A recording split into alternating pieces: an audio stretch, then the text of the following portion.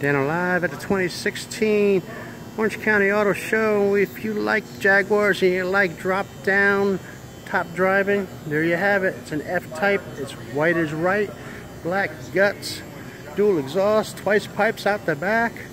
Of course, it's no real hot rod. These luxury cars do not have five and six speeds.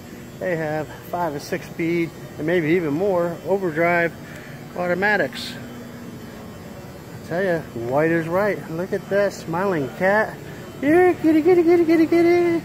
That's a one fine looking Jaguar machine.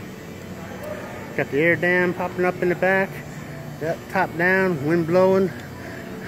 Let the hair fly. Get the bandana going like you did in the 70s and the cruise on.